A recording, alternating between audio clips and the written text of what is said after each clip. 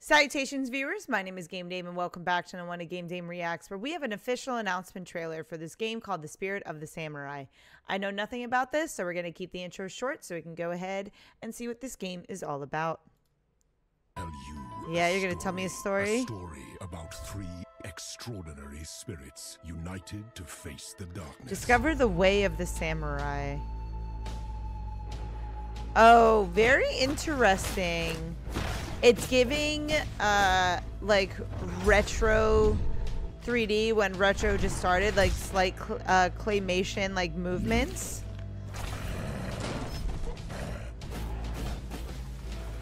It's also, um, oh my god, you get to be all of those cute little spirits. I love it. Um, it's it's giving stop motion. That's what it's also giving. Incredible defying fate and even death. I, Kitsune, spirit of the forest, was a witness and a part of it.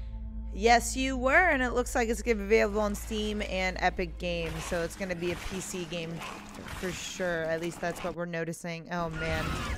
You can wish list it now. Uh, this game does look very interesting. I'm going to stay watch for it.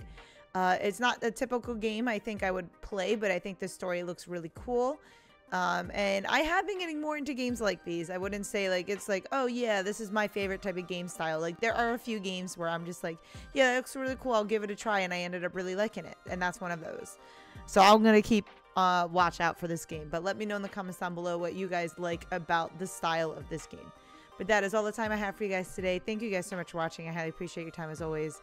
But please do not forget to subscribe and or follow not only to my YouTube, but to my Twitch. You guys know where my YouTube is at. But you can find my Twitch at twitch.tv slash the game dame. Thanks guys, and I'll see you in the next video. Bye-bye.